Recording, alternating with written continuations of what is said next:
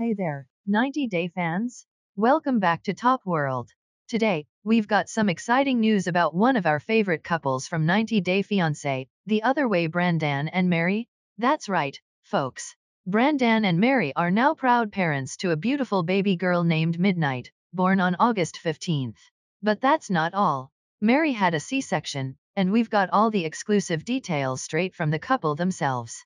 Mary said, when I heard our baby crying for the first time during my C-section, I got teary-eyed and was so happy to realize I have a baby. Our daughter, Midnight, is worth everything, and I've never been this happy in my whole life.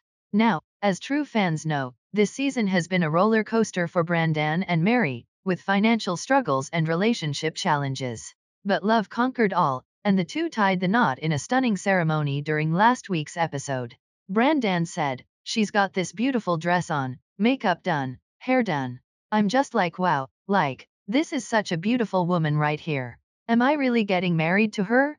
Like, you could pinch me, like, I need to know that this is really happening.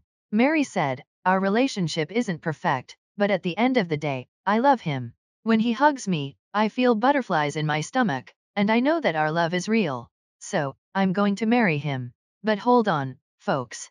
Their dream wedding wasn't without its challenges. Stay tuned to find out how their special day got a surprise visit from thousands of bugs. Can you believe it? Bugs at a wedding? We've got the exclusive footage coming up, so make sure to stick around. But before we dive into that, don't forget to hit that like button, subscribe, and ring the notification bell to stay updated on all things 90 Day Fiancé. Alright, let's get into the juicy details of this bug-infested wedding in the Philippines. You won't want to miss it.